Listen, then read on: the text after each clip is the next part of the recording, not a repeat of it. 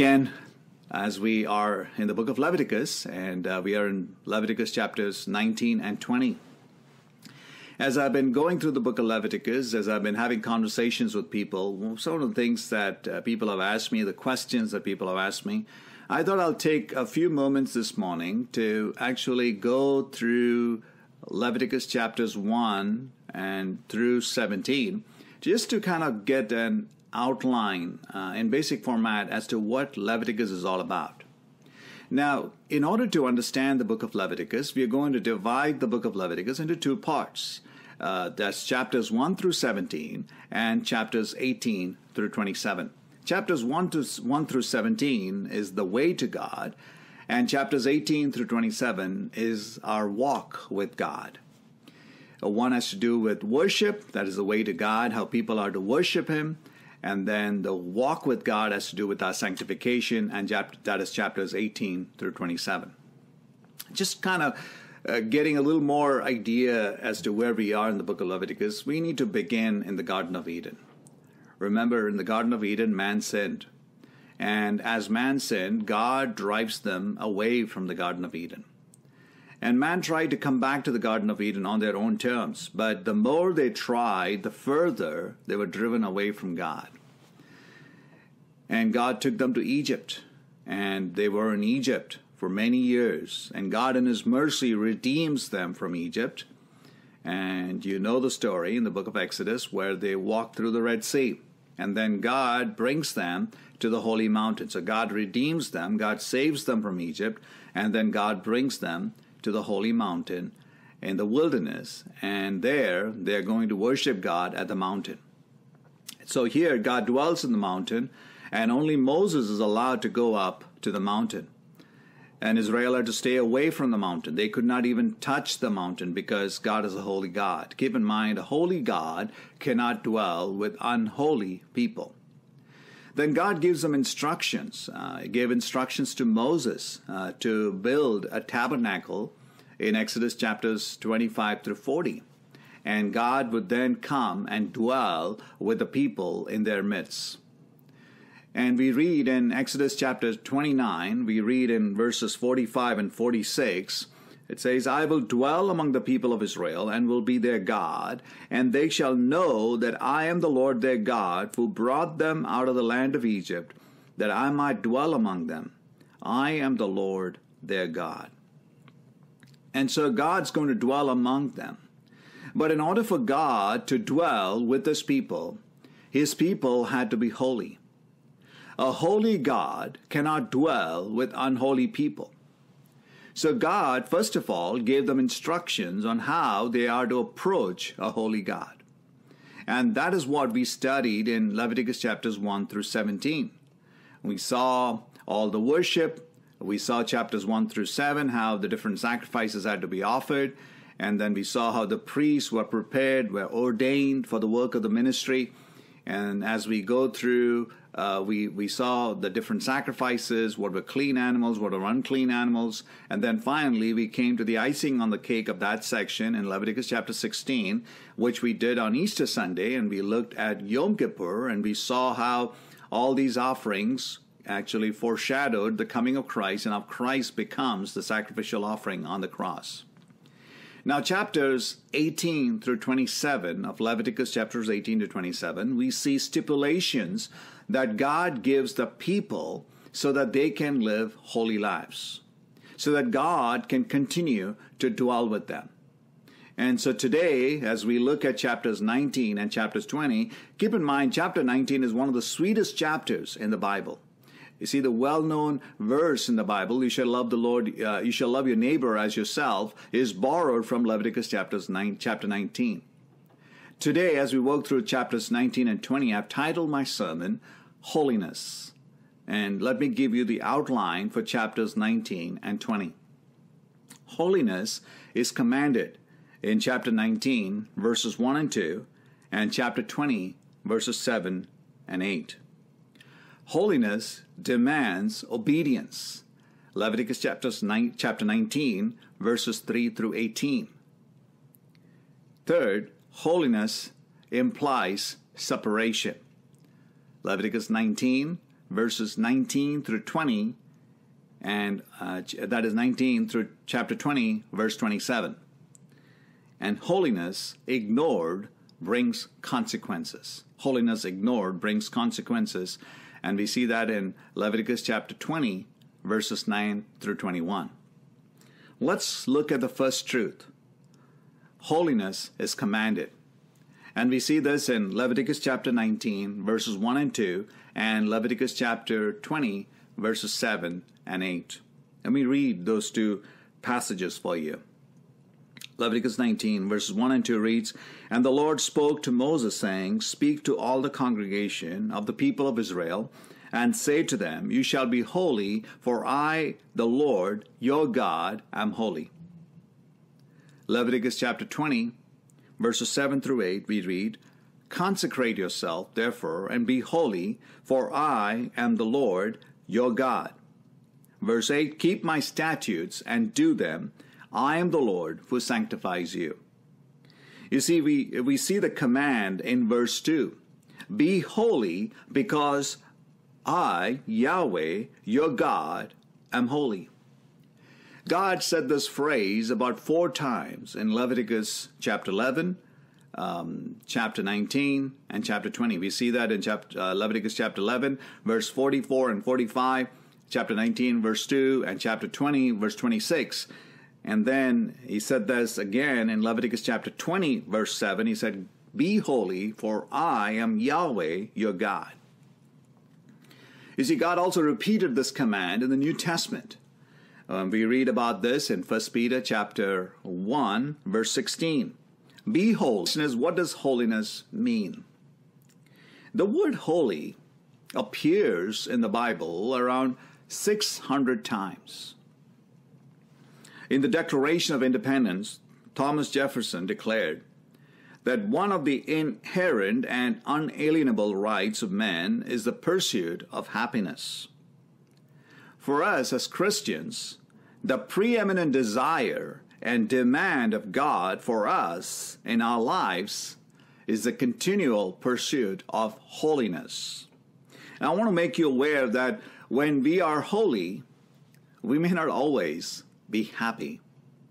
And if you believe that the pursuit of happiness is your fundamental, unalienable right, then you will have reason to be unhappy. Why? Because you will resort to being happy at the cost of pursuing holiness. And you will say, I want to be happy rather than being holy. And if you are not holy, then you will not be happy in a sense, in a biblical sense. In a worldly sense, you may be happy because that's what your your life goal is. That's your idol in your life, to be happy all the time. So the question you and I need to handle is uh, uh, to really examine our hearts today is when we think about holiness, what is more important to us? is happiness more important to us or his holiness more important to us? And doesn't mean that if you're holy, you're going to be unhappy, but it is not necessary that when you pursue holiness that you will always be happy. God wants you to be holy more than being happy. So keep that in mind as we go through the whole question of holiness. So, what does it mean to be holy? Holiness is archaic to our Christian culture. You know, when people think about holiness, they immediately think of women with long skirts, black stockings, hair tied in a bun, like Amish people. Or they may think of people who are self righteous or pharisaical. Jonathan Edwards writes Holiness is not something which is gloomy, sour, and unpleasant, but sweet and lovely. To be holy means to be morally blameless. It means to be separated from sin and therefore consecrated to God. Holiness is a condition of our hearts, created by God. And, and in turn, it's our responsibility to live out that life for the glory of God. Now, in our natural state, we don't desire holiness. In our natural state, we are spiritually dead people. we are desperately wicked, we are carnal, and we are alive under sin and Satan, we love to do the deeds of Satan. But something happens when God regenerates us. When God regenerates us, when He causes us to be born again, He awakens our dead soul, gives us a new heart, and puts His Holy Spirit within us. We repent of our sin, we put our faith in the Lord Jesus Christ, and we are justified, we are sanctified, and we are adopted. You see, becoming holy is something that God does in us. He changes our hearts and He makes us holy. Second, holiness is not only what God does in us, but we are responsible to live a life of holiness. Let me tell you what that means. A farmer plows his field. He sows the seed. He fertilizes and cultivates. All the while, he knows that at the end of the day, he cannot cause the seed to germinate, nor can he produce the rain and the sunshine for growing and harvesting the crop. For a successful harvest, the farmer is dependent on these things from God.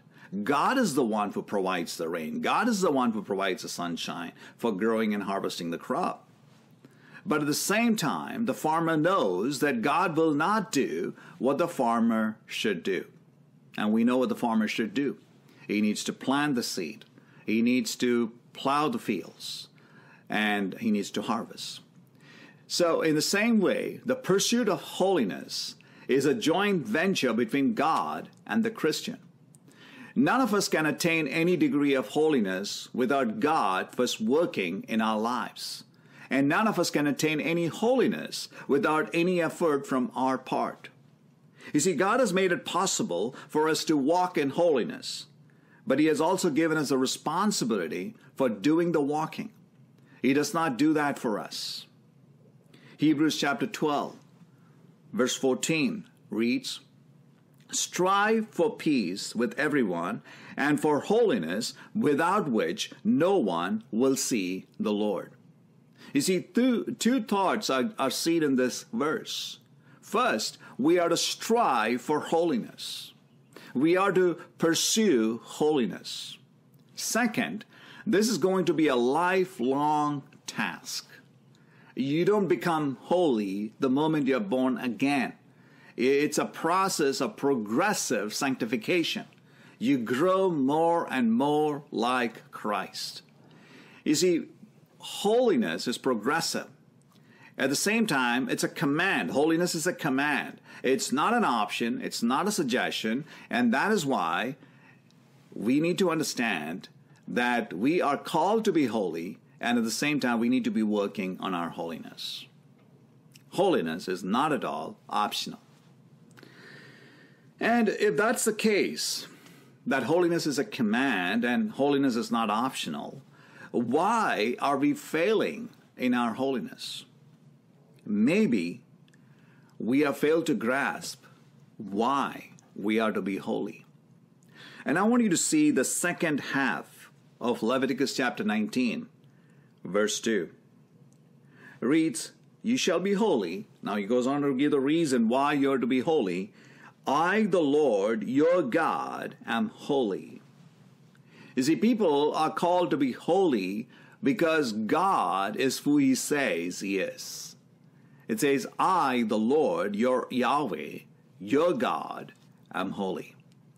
And this is what He told the Israelites in, in Leviticus chapter 18. He said, You shall keep my statutes and my rules, and keep my statutes and walk in them. Why? Because I am the Lord your God.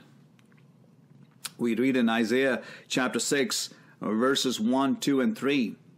When Isaiah had a vision of God, what did he see? He saw the Lord sitting upon a throne high and lifted up, and a train of his robe filled the temple. And above him stood the seraphim. Each had six wings. With two he covered his face, with two he covered his feet, and with two he flew. And one called to another and said, Holy, holy, holy is the Lord God Almighty. The earth is full of his glory. You see, we are we see the holiness of God. God is a holy God. And and we are called to be holy. Why? Because God is holy. Now keep in mind you and I are made holy when we are born again. The righteousness of Christ is imputed to us. And, uh, and we are seen uh, with, in God's eyes, we are positionally holy. We have the righteousness of Christ in us. Positional holiness as a Christian, when we become a Christian, we are positionally holy, and positional holiness will and should result in practical holiness. Meaning, our day to day life should match who we are positionally. A life without practical holiness would be a contradiction of biblical Christianity. You see, beloved, holiness is missing in our church even missing in our private lives. And the reason is that many professing believers make their own interpretation of scriptures to suit their morality. We have professing believers practicing sexual immorality, cussing, lying, cheating, oppressing others, slandering one another, selfish, being lustful, and all the while justifying their actions. They'll say, well, we have liberty in Christ. And some of them may understand the scriptures correctly, but they will use a mantra to make these vices tolerable. Uh, you know what they would say to accommodate their sinful lifestyle. They'll say something to this effect, and you probably heard this No one is perfect after all. And, and beloved, we as a church are not saying that we have to attain sinless perfection because that's not biblical. But making statements like, we are not perfect, is to make excuses for our sin. And such people continue to live a life contrary to God's command. And that is not biblical. Holiness, my friend, is non negotiable. It's a command. God commands us to be holy. And that's what we see in Leviticus chapter 19, verses 1 and 2, and Leviticus chapter 20, verses 7 and 8. Next, let's go to the next point, and that is holiness demands obedience. And we see this in Leviticus chapter 19, verses 3 through 18, and verses 32 through 37. Here we see that God gives the nation of Israel concrete, tangible examples of what it means to be holy. You see, holiness is not some abstract idea, but uh, is a daily, mundane, practical reality woven into the fabric of our daily life. So we see in Leviticus chapter 19, as he gives us tangible ways that we got to demonstrate our holiness, because as I told you, when we are positionally holy, it has to result in practical holiness. And what does that look like in our day to day life? And God is now giving the nation of Israel practical, tangible ways to demonstrate that holiness. So let's first begin in verses 3 through 5 we see holiness specified in terms of obedience to the Ten Commandments.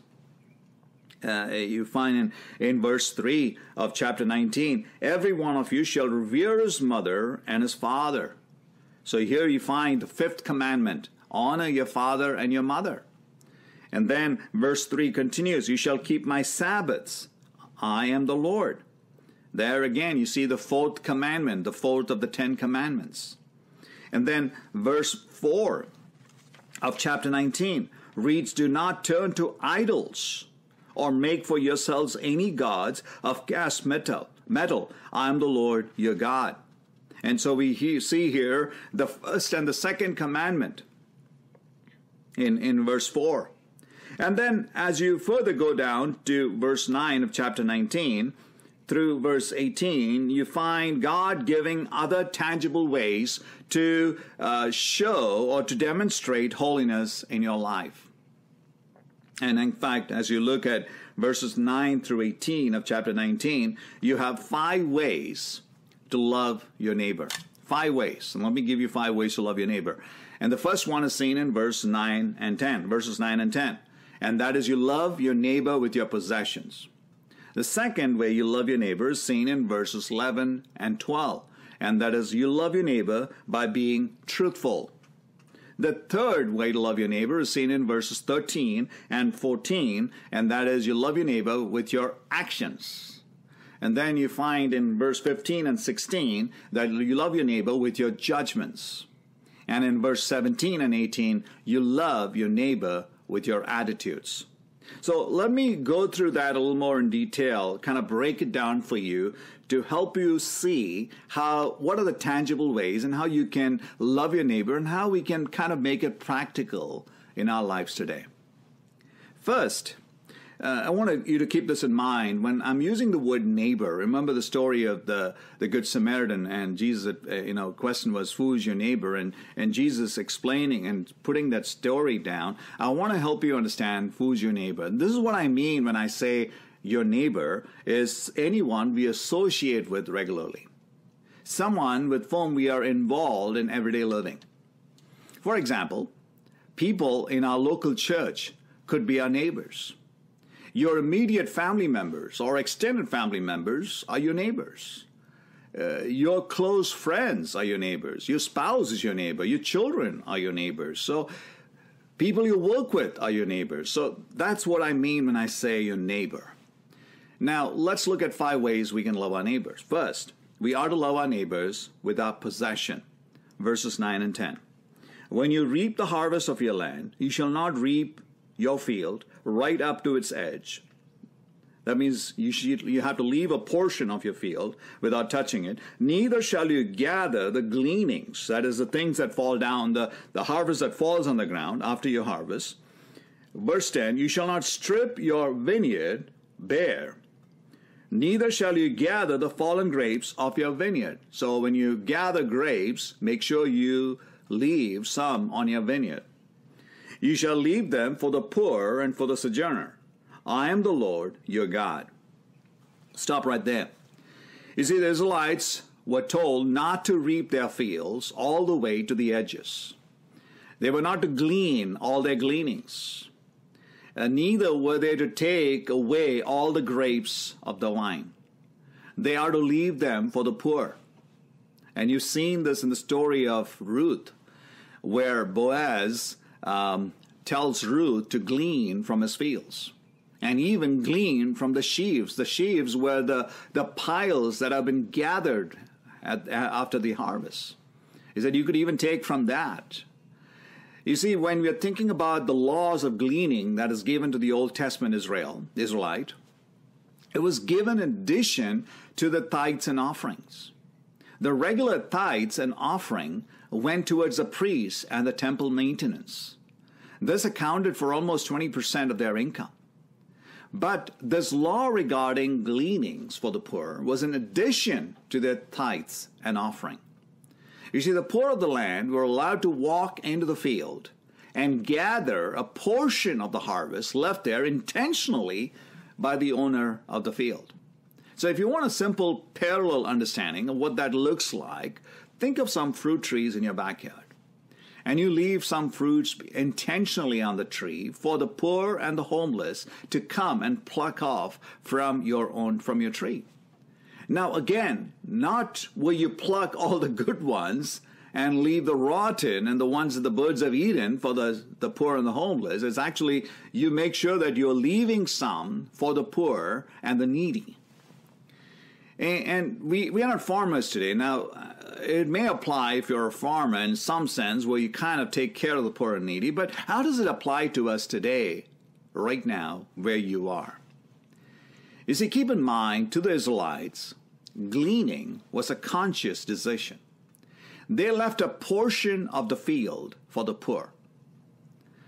The poor and the needy benefited from those who chose not to maximize on their profits so the farmer is intentionally choosing to leave a portion behind. He was not thinking, well, I'm going to gather that, that as well, and maybe I can, I can probably make another car payment. Maybe I'm going to gather that as well so that I can plan for a, a vacation next year. That's not what he did.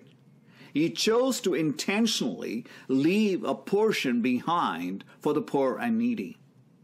Now, in those days, there were no In-N-Out and Popeyes. I mean, you just walked into somebody's field and ate what was left there if you are poor and you are needy.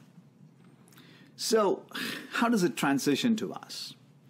Well, beloved, we must deliberately manage our finances so that we will have enough left over after our regular giving to the church to give to the poor, to those in need. How do we do that? Well, first of all, you need to set up your monthly budget with that flexibility in your budget to give. So you set it up in such a way where you are able to give liberally and you're able to give cheerfully. We ought to hold on to our money very loosely. Let some of our money fall off our hands so that the poor and the needy can be ministered to. That means we are to live on a budget, a budget in which we have made a conscious decision to first set aside a portion of our income to the Lord. This is your regular giving to the Lord. And then you set aside a portion for some of the giving to the poor and needy. Now, as you see a need in the lives of people, you're able to take that portion that you've set aside and give as needed. Now, as a church, we have something known as benevolent fund. Uh, we collect that uh, the first week of every month. It's a fund that is set aside for people that truly need some extra income, some extra money, uh, some extra dollars to take them through the month. Now, keep in mind, this is in addition to what you regularly give to the church. So, when you get that extra fund, when you get that extra cash, when you get that extra stimulus check, what do you do? You can put aside a portion of that or completely to for people in need. And then you keep your ears close to the ground. And as you keep your ears close to the ground, you're able to know, you're able to see for the people that are in need. And as you give, make sure your left hand doesn't know what your right hand is giving. You see, that's a tangible expression of holiness. And it's seen in the way you love others with your possessions. And why do you love others with your possessions? We see the answer there, right there in that verse. It says in verse 10, I am the Lord your God. The same reason for holiness. Why should we be holy? I am the Lord your God. Why should we love our neighbor with our possessions? I am the Lord your God. Let's look at the second way we love our neighbor is by being truthful. We see this in Leviticus chapter 19, verses 11 and 12. Let me read that for you. It says, You shall not steal, you shall not deal falsely, you shall not lie to one another, you shall not swear by my name falsely, and so profane the name of your God. I am the Lord. You see, beloved, being truthful is the opposite of stealing. Being truthful is the opposite of lying. Now, how do you steal? Well, stealing is understood as breaking in, right? Taking in something that doesn't belong to you. But do you also know that you can steal by lying? By falsifying on your taxes, by falsifying on your business transactions. We read in verses 11 and 12 that you are to show your love for your neighbor by speaking the truth with your neighbor. That means you always speak the truth. Now, speaking the truth does not mean you speak your mind out. You want to be careful that as you speak, that you do it solely for the purpose of truly caring for that individual to help that individual. And we are to speak the truth, but at the same time, we do not take anything that belongs to anyone else. That's stealing. Now, there's a reason for speaking the truth. Why do we speak the truth? The reason is found in verse 12. I am the Lord your God. Now keep in mind, this applies to us in many ways. Let me just give you one example. It is important for us to understand, as husbands and wives, you know, that we are to be truthful to our spouses. As a husband, I need to be truthful to my wife. That means there's nothing shady about what I'm doing. I am transparent in the way I live my life. That my wife is able to see what I do and that she completely knows that I'm not hiding anything from her. And that's being truthful uh, to my neighbor because my wife is my neighbor. Let's keep going uh, to the third way we show our love to our neighbor. The third way we show our love to our neighbor is by our actions. And we see that in Leviticus chapter 19, verses 13 and 14. Let me read that for you. You shall not oppress your neighbor or rob him.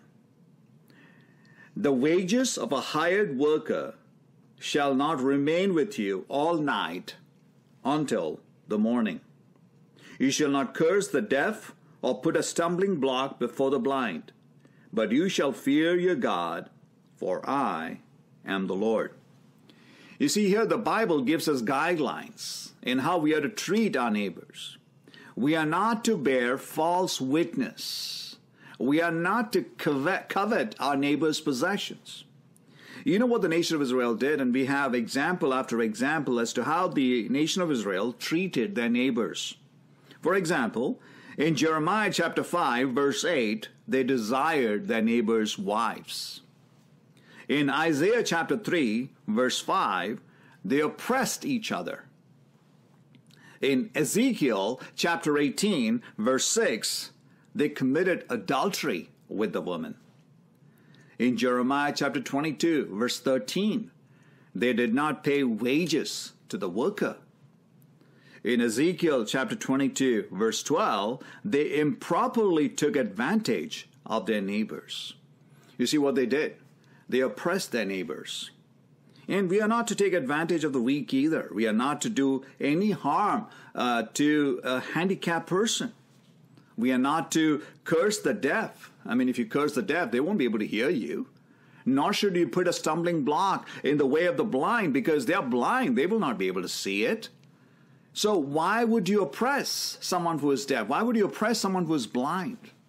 And so Bible says you should not oppress your neighbor. You should not take advantage of any handicapped person because, and the reason is given there in verse 14. Again, why you shall fear your God, I am the Lord. Now, here there's a little more. Uh, um, I mean, look at what he says. He says, You won't do these things. It was not there in the other verses, but here it says, You shall fear your God.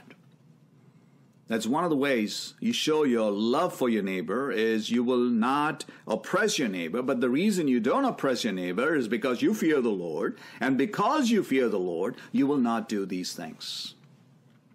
Let me uh, take you to a fourth way to show your love for your neighbor, and that is by being by your judgments. And we read about that in, in, Leviticus chapter 19, verses 15 and 16. Let me read that for you. You shall not do injustice, you shall do no injustice in court. You shall not be partial to the poor or defer to the great, but in righteousness shall you judge your neighbor. You shall not go around as a slanderer among your people. You shall not stand up against the life of your neighbor. I am the Lord. So you see here in verse 15, God forbids injustice and partiality. In other words, we don't play favorites. We do what is right. Sometimes we show partiality to the rich and we look down on the poor. We treat them with contempt. And God is saying here, uh, we hard to speak the truth whether we are speaking about a rich person or we are speaking about a poor person. Also, uh, goes on to read there, that you shall in verse 16 you shall not you shall not go about slandering anyone. You see we should not slander our neighbor. That means we are not to pass on juicy morsels you see slander is saying something untrue about someone behind his or her back it is being a talebearer. And God requires holiness in his people. And holiness includes refraining from saying things about people. Now, whether the report be true or false, we are forbidden strictly to spread it. Now, sometimes you may gossip about other people. Now, you may not gossip about other people to people outside your home. You may gossip about other people in the comfort of your home amongst the members of your family. Now, just because you are doing it with your family members doesn't give you the license to gossip and doesn't make gossip right. Gossip is gossip, even when you talk to your son about it or your daughter about it, about someone in the church. I mean, they don't need to enjoy the juicy morsels. They don't have to be part of that. You see, people love to dig into other people's trash. And when you gossip, you're actually causing the other person to stumble. And not only that, you got to be careful. You know why? Because the reputation of God's people is very precious to God. And when you're slandering someone, you're actually demeaning or diminishing him in front of other people. Love demands that we control our words. We are to speak no evil of any man. Now, this doesn't mean that you sit tight when you see sin. You are to deal with sin, and you got to deal with it according to Matthew 18. That means if you see sin in a person's life, you got to go to that person one on one and if he or she does not listen to your pleading to repent, you have no other resort but to go to another brother or sister and include them so that you can plead with that person to repent. You see, that is not gossip keep in mind as long as it is done in the context of Matthew 18 and it's done according to Matthew 18 and and this is not a sermon here to talk in detail about church discipline but you can uh, uh, check one of my sermons that I've done on church discipline and kind of it lays out in more elaborate details as to how you got to confront sin in your neighbor. So here we have seen uh, four ways. We'll now look at a fifth way to love our neighbors and we see that in verses 17 and 18 a fifth way to love our neighbor, and that is we love them with our attitude. Let me read verses 17 and 18. You shall not hate your brother in your heart, but you shall reason frankly with your neighbor, lest you incur sin because of him. You shall not take vengeance or bear a grudge against the sons of your own people, but you shall love your neighbor as yourself. I am the Lord. So here is another command. It says, Don't hate your neighbor. And if you see the second part of verse 17, can be seen in probably two ways. Can be understood in two ways, depending on which version of the Bible you're reading. So if you're reading from the New American Standard Bible, it, it states it one way. If you're reading the New International Version, NIV, it states it another way. And let me put that together here. If you're reading from the NASB, it says that one should rebuke his neighbor without hating him in one's heart. That's how the NASB takes it. Or it could also mean that one should rebuke his neighbor so that one might not become guilty of the same sin himself. And that's how the NIV takes it. And I think that's probably the intent of the of the second part of the verse, verse 17. Eh, for example, so if you see your neighbor lusting after another man's wife, or you see your neighbor involved in lying or stealing or pornography or being arrogant or being prideful, what you do is you come alongside him or her to exhort them to confess their sin and repent of their sin. Because if you don't, if you know they're sinning and you stay silent about it, verse 17 says, lest you incur sin because of him. That means you are now becoming a part of that sin because you know they are sinning and you're staying quiet about it. You're not speaking out the truth. You see, that's where we need to be. Uh, the fifth way is that we got to love with our attitude. That is, we are being Christ like in our love to one another. And then verse 18, uh, verse uh, 18 goes on to wrap up with that. It says, You shall love your neighbor as yourself. And that's the most quoted verse in the Old Testament. Um, you shall love your neighbor as yourself. And again, why should I do this? The reason is given there I am the Lord. So we have seen five ways that we can love our neighbor. But then it doesn't stop there. chapter 19 goes on into verses 32 all the way through 37 with still more tangible expressions of love. Or tangible expressions, rather, of holiness. That means if you're holy, this is what your life should look like in tangible ways. Let's look at more of those expressions in verses 32 to 37 of chapter 19. So let me read verses 32 to 34 to begin with. It says, You shall stand before the gray head and honor the face of an old man. And you shall fear your God. I am the Lord. Verse 33 When a stranger sojourns with you in your land, you shall not do him wrong. Verse 34 You shall treat the stranger who sojourns with you as a native among you. You shall love him as yourself, for you were strangers in the land of Egypt. I am the Lord your God.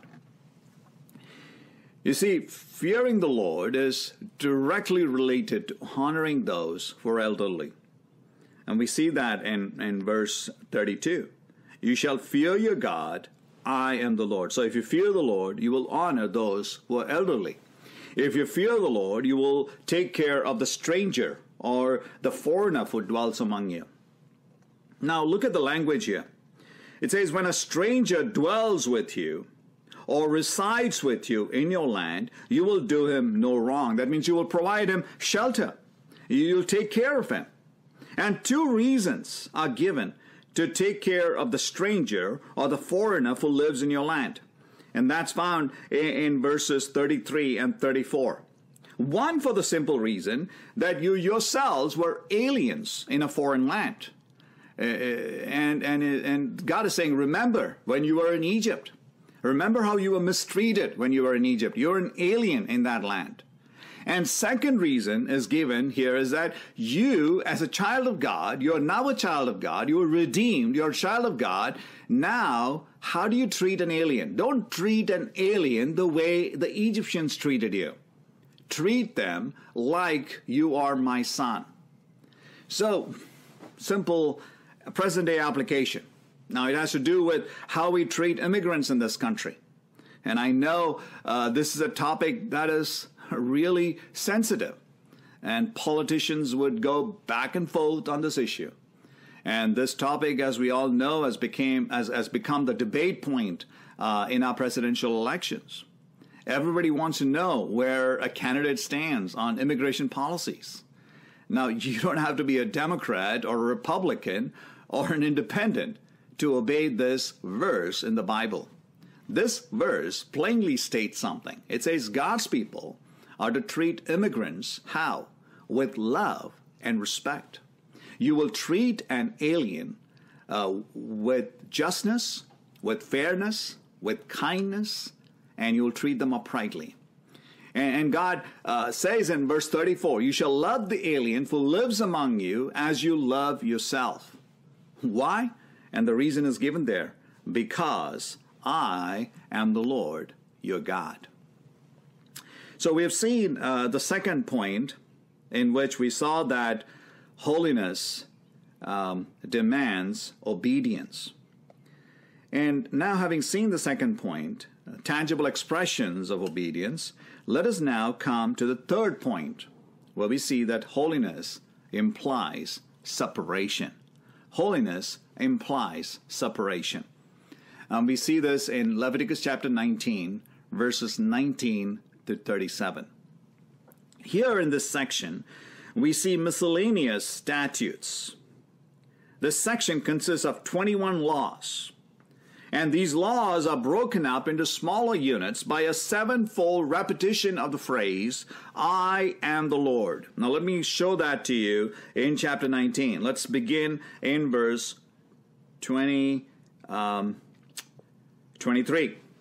It says, uh, when you come into the land and plant any tree, and it goes on into 24, in the fourth year, all its fruit shall be holy, be holy and offering a praise to the Lord. But in the fifth year, you may eat of its fruit to increase its yield for you. Now look at the first division there. I am the Lord your God.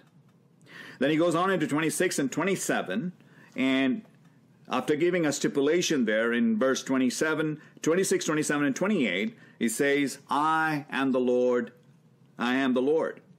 Then he goes on into verses 29 and 30. He gives a stipulation there and says, I am the Lord. So we know this is kind of a natural outline here in the book of Le- Leviticus, chapter 19. You can see how the author is breaking it out into different parts by using the phrase, I am the Lord. Then he goes on into verse 31. He states another stipulation and then says, I am the Lord. Then he goes into verse 32, another stipulation, I am the Lord. Verse 34, another stipulation, I am the Lord your God. And then finally come to verse 36, says, I am the Lord your God, who brought you out of the land of Egypt. So let's kind of look at these a little more in detail here. As you look at uh, chapter 19, uh, verse 19, it says, You shall keep my statutes. You shall not let your cattle breed with a different kind. You shall not sow uh, your field with two kinds of seed, nor shall you wear a garment of cloth made of two kinds of material. So here in verse 19, we see there's a distinction between the mixing of two kinds of animals. Uh, breeding cattle of different species, like horse and a, and a donkey, or breeding of a sheep with a goat was not allowed. A mixing of two kinds of seeds were not allowed. Mixing of two kinds of materials and garments were not allowed. You see, this was characteristic of a certain kind of idolatrous practices. Now, we are not going to go into detail, but uh, the Canaanites did these things, and God wanted to show the nation of Israel that when you go into the promised land, the Canaanites are going to be there. You are going to be distinct. You're going to be separate. You're not going to be acting like them. You are not going to uh, borrow in a, any of their practices. You're going to be a distinct people. That's why I said holiness means separation. You see, God's people are to manifest God's holiness by keeping the ceremonial distinctions from the pagan Canaanite cultures.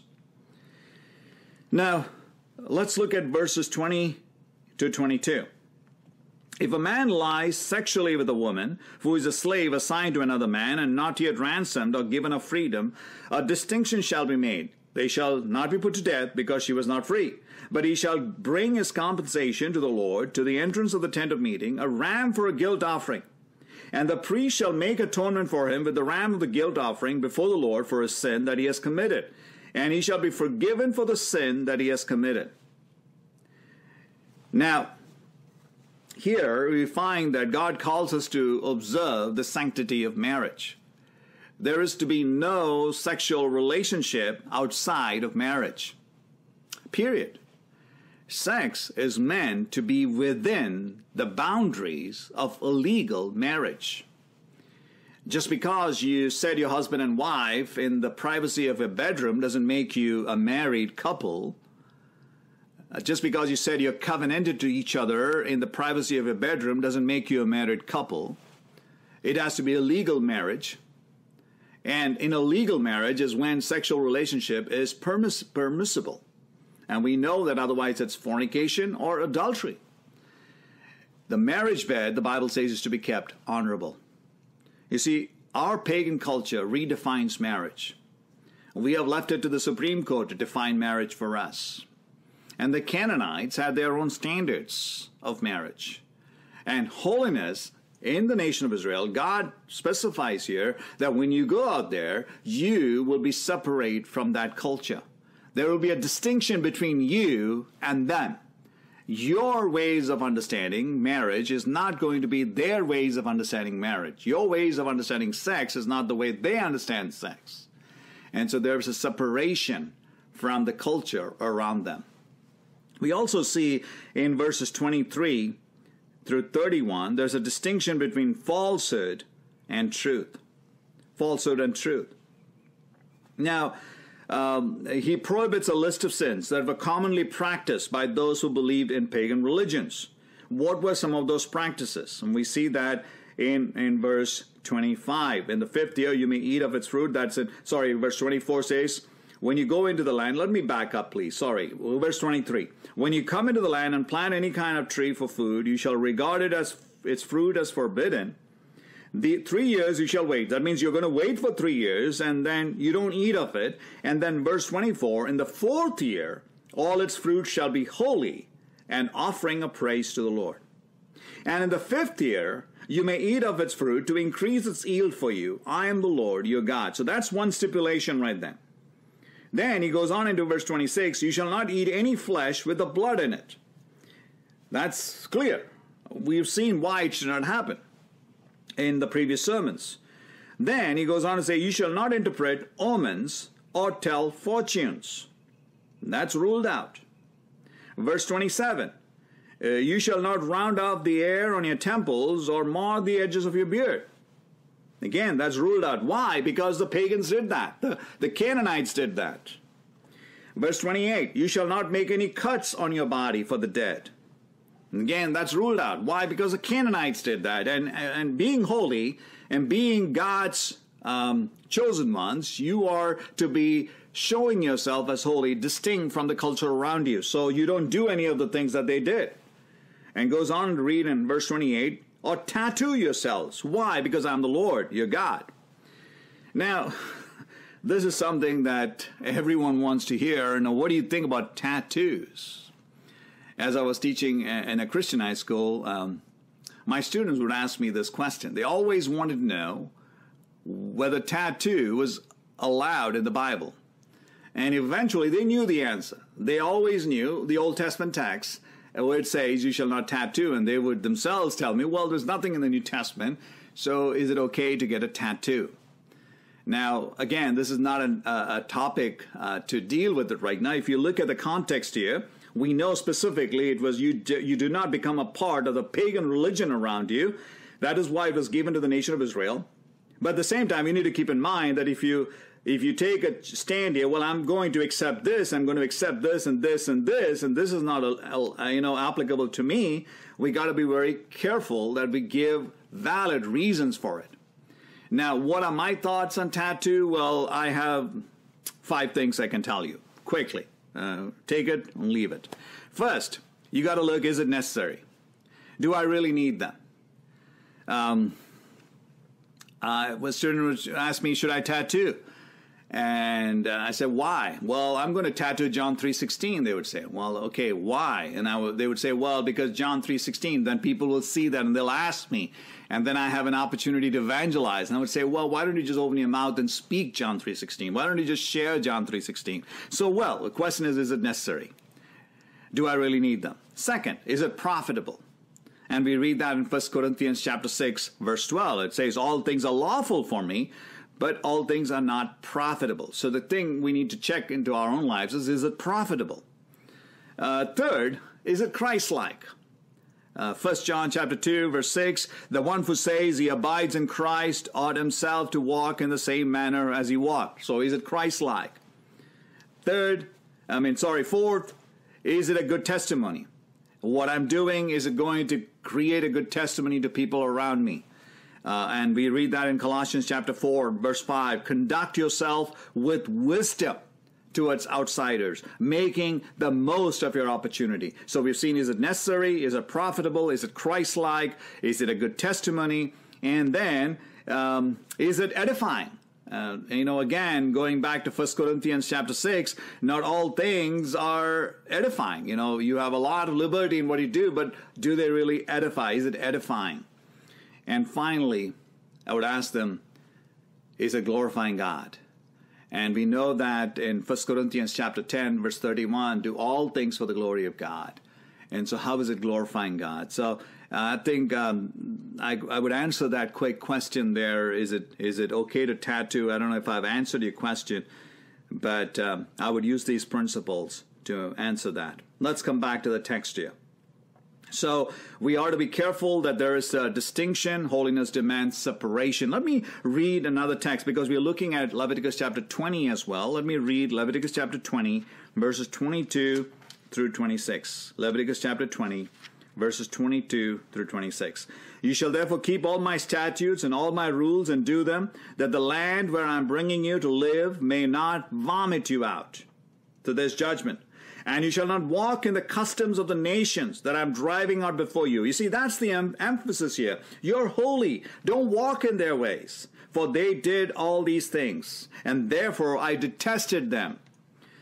Verse 24, but I have said to you, You shall inherit their land, and I will give it to you to possess a land flowing with milk and honey. I'm the Lord your God, who has separated you from all the people. So you see, holiness demands separation. We are a separate people. Let's move on. Verse 25. You shall therefore separate the clean beast from the unclean, and the unclean bird from the clean. You shall not make yourself detestable by beast, or by bird, or by anything with which the ground crawls, which I have set apart for you to hold unclean. You shall be holy to me. Verse 26. For I, the Lord, am holy, and have separated you from the peoples that you should be mine. Again, holiness demands separation. God has separated us from the peoples, that you should be mine. So here we see in verses 24 and 26 is loud and clear. Holiness demands that we are a separated people. We are not to be friends with the world around us. Remember 1 John chapter 2 verses 15 and 15 through 17 in the New Testament says do not love the world or the things of the world. If any man loves the world, the love of the Father is not in him. For all that is in the world, the desires of the flesh and the desires of the eyes and the pride of life is not from the Father, but is from the world. And the world is passing away along with its desires. But whoever does the will of God abides forever. Let me read for you what John MacArthur writes in regard to this verse in his study Bible. He writes, While the world's philosophies and ideologies and much that it offers may appear attractive and appealing, he says it is deception. It is evil, harmful, ruinous, and satanic. Uh, ruinous and satanic. Its deadly theories are raised up against the knowledge of God and hold the souls of men captive. Keep in mind that the world is at enmity with Christ and his followers. The world and its culture is in rebellion with God. The, the culture is controlled by Satan. Oftentimes, we somehow take the culture and, and try to make it biblical. Your culture doesn't determine your biblical interpretation. Your biblical interpretation is, should be outside of your culture. Your biblical interpretation should be based on scriptures. Scriptures interpret scriptures. And, and so our culture is pagan. Our culture is under the influence of Satan. And so we need to be careful that we don't adopt our cultural understanding in the way we react or respond to the Bible. The Christian must reject the ways of the world and its ideologies. At the same time, it does not mean that we are to live on a mountain humming our way to glory. Because you say, well, Pastor, if you're saying that we don't interact with the world, that means then now we've got to go up to a mountain and hum our way to glory. No, that's not what I'm saying. if we do that, how will the lost pagan world come to know Christ? We are to live in this world, yet we are to be separated from the world. Holiness demands that we separate ourselves from our culture and we adopt a biblical framework.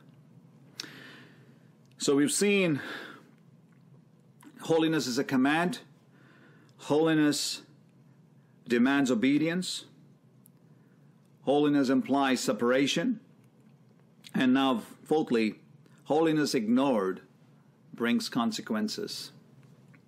And we see this in Leviticus chapter 20 verses 9 through 21. Leviticus chapter 20, verses 9 through 21.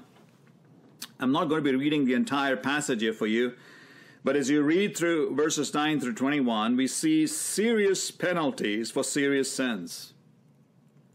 Many of these sins are sexual in nature, and when committed, these sins have serious consequences. As you see in verse 10, if a man commits adultery, there's the penalty of death. I mean, there's a death penalty for the one who's committing adultery.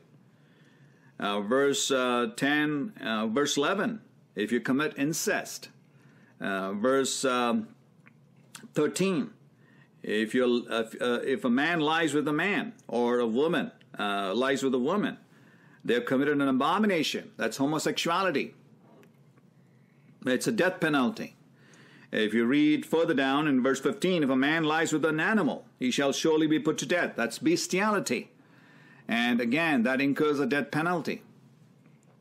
And if you read further, uh, you'll see that uh, there are some sins where God says, I'll make you childless. There are some sins, He says, I'll curse you if you commit them. In verse 27 of chapter 20, um, verse 27 says, A man or a woman who is a medium or a necromancer, who brings up unfamiliar spirits, shall surely be put to death. They shall be stoned with stones, their blood shall be upon them.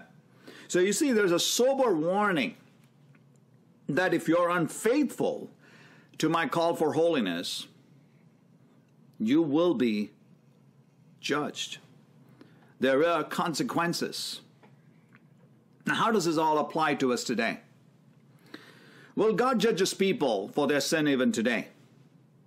He's the same yesterday, today, and forevermore. God is immutable. So, how does He judge sin today? First, God judged sin on the cross. He sent Jesus Christ into this world to die for the sins of his people. The Bible reads in 2 Corinthians chapter 5 verse 21, for our sake he made him to be sin who knew no sin so that in him we might become the righteousness of God. Romans chapter 10, sorry, Romans chapter 5 verses 8 through 10, we see that God shows his love for us and that while we were sinners, what happened? Christ died for us. Isaiah chapter 53, verse 6 reads, All like sheep we have gone astray. We have turned everyone to his own way. And the Lord has laid on uh, him the iniquity of us all. So in Christ, we are no longer under the wrath of God. We are no longer under the penalty of sin. First Peter chapter 2, verse 24, we read, He himself bore our sins in his body on a tree, that we might die to sin and live to righteousness. Beloved, in Christ, you have His righteousness. You are forgiven of your sins. Read in Psalm 103, Psalm 103, verses 10 through 12. that We read, He does not deal with us according to our sins, nor repay us according to our iniquities. For as high as the heavens are above the earth, so great is His steadfast love towards those who fear Him. As far as the east is from the west, so far as He removed our transgressions from us. So, as believers, we are no longer under condemnation. But what happens when you and I sin? Well, 1 John 1 9 gives us the answer, right? If we sin, what do we do? If we confess our sins, He's faithful and just to forgive us and cleanse us from all our unrighteousness. But keep in mind that when we sin, there will be consequences to our sin. There will be consequences to our bad choices. We also know that according to Hebrews chapter 12, a loving father disciplines his children.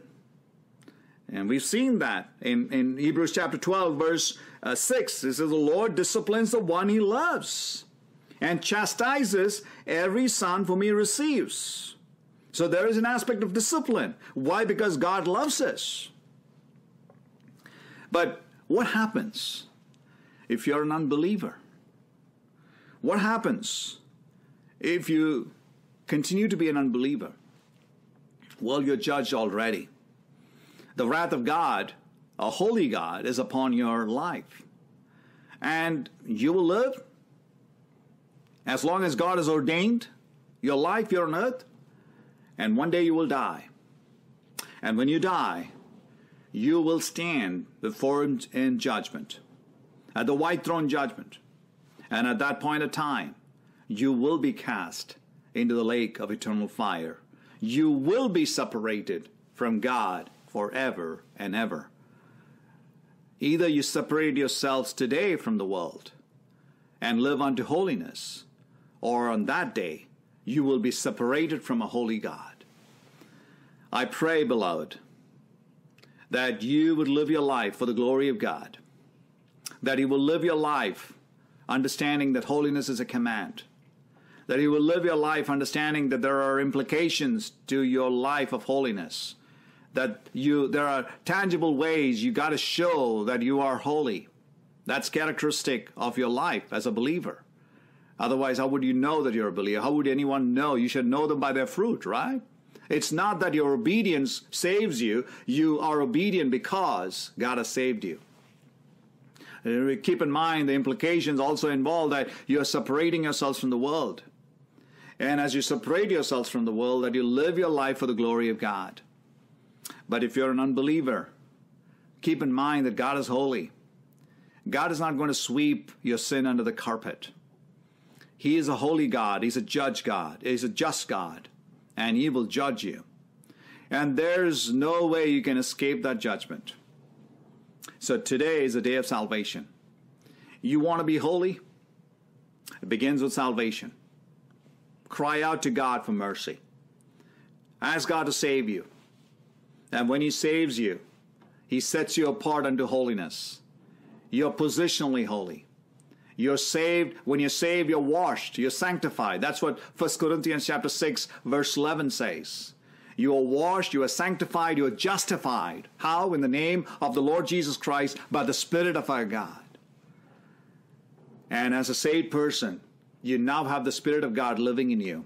The presence and the power of the Holy Spirit to help you, to enable you, to strengthen you to live a life of holiness that you can now depend on His power to live a life of holiness, that you will now be able to live out holy lives by His enablement. And if you're an unbeliever, I plead with you that today is a day of salvation, that you would choose Christ, that you would live for His glory, and that you would repent of your sin and turn to Him. Let's pray.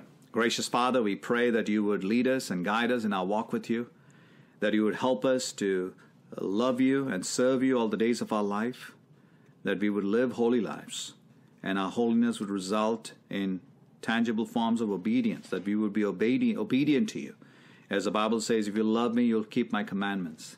And not only would we show that in and through our lives, that we would live separated lives, that the world would know that we belong to the Most High God. And at the same time, we pray that that you would do your work in the life of unbelievers that they would turn to you, that they would repent of their sin, and that they would seek you for salvation. In Jesus' name we pray, and all God's children say, Amen.